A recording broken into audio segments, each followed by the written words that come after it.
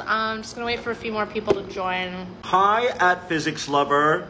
You ask, are you alive? Live. Uh, okay, yeah, we knew we'd get this question. Mhm, Yeah, it's yeah. not rocket science, it's quantum mechanics. Um, we're both dead and alive. Yeah, we are stuck in an undefinable superposition, so you have no idea if we're dead or alive right You don't know. Okay. Okay. Um, okay. Next question at New Yorker eighty seven. Do you like string theory? Um, we prefer yarn. So Yeah, big big yarn cats here in the box. Yeah, yeah. Um, do you have a favorite paradox, or are you into the classics? Um, mm, our own paradox. definitely our own paradox. Uh, Yeah. No tea, no shade, but Fermi's paradox. Uh, let's just say not for me. Okay. Yeah, it's a little overrated. Yeah. Um, you, you uh, this person asked if you're not dead or alive, what are you?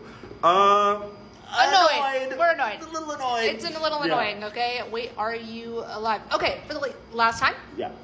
Yes and no. Yes, you don't know if we are alive or dead right now. If you want to know, you gotta open, Open the, the box. box. You just gotta.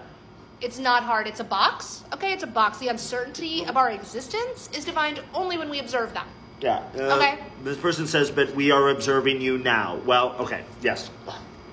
I guess. I guess technically That's true. that's true, but we are on a live stream. Okay. You do not know if we are alive or dead. Okay. You know what? Actually, a better question might be how do how do you know you're alive? Right. Yeah. How do you know you're not stuck in a Schrodinger's box of your own unreality? Yeah. Who's observing you, buddy? Okay, guys, Who's um, defining your existence? Guys, we're gonna need to log off here. We have to conserve oxygen. So. Okay.